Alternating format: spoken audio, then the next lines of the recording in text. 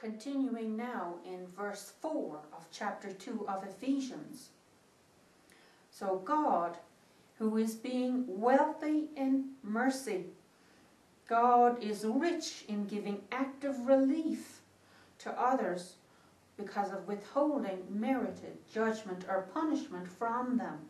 God doesn't bestow punishment on those who deserve to be punished. Let's read on. So God is being wealthy in mercy on account of much love. And of course, this word love comes from that Greek word agape, God's kind of love. God has a lot of his own love, his godly love. So God, who's being wealthy in mercy, on account of much love, bestowed mercy towards us God withheld merited judgment from us. Who? Us, the people who are holy and believing in Christ Jesus. God did not bestow punishment on us who deserve to be punished. He gave us active relief. Even us, Paul emphasizes, who are dead to the falling asides, just like verse 1, we are now dead to the falling asides he, God, made us alive together. God caused us to become alive or living. He gave us life together or in conjunction, jointly with the Christ. That's the promised Messiah, the anointed one. Our life now, our true life, is the Holy Spirit life that we have received the Spirit of Christ in us is our life, our true spiritual life. God made us alive together with the Christ, with or by or in grace, unmerited or undeserved favor, which we saw back in chapter 1. You are at the present time in the standing and state of having already been saved, and you continue saved. That's what that word saved means. It means we have already been saved, and we're still saved. We remain saved. Why? Because we receive that gift of Holy Spirit, the deposit of the Spirit within us. We have been made safe to God from sins and their consequences, from destruction. And in verse 6, and he, God, raised us up together. So God caused us to rise up in conjunction with Christ. So again, we are jointly with Christ. And he caused us to sit down together. God made us to be seated in conjunction with Christ with each other and with Christ jointly, all together. Where? In the heavenlies. Of course, again, we saw that in chapter 1, but that word heavenlies is a plural word and it gives great emphasis to the word. The word heavenlies. And it is used metaphorically referring to God's spirit realm. That's all that is upon or pertaining to God within the sphere of action of all that pertains to God's heavenly or spirit realm. So God did this in Christ Jesus within the cause and sphere of action, the character and attributes of Christ Jesus. So at the present time, we have not yet, of course, received our new spiritual bodies like Christ received when God raised him up alive from being dead.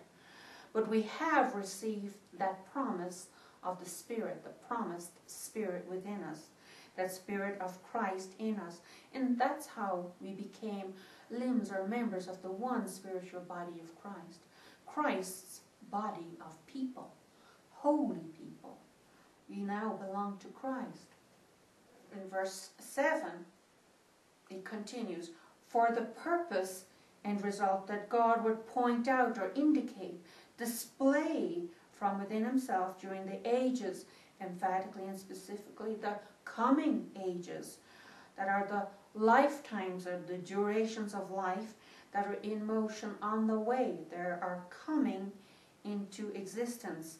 Of course, that's referring to the future ages, beginning with the event of the Lord Jesus Christ returning to gather all holy people together with him in the air away from the earth that begins the day of the Lord.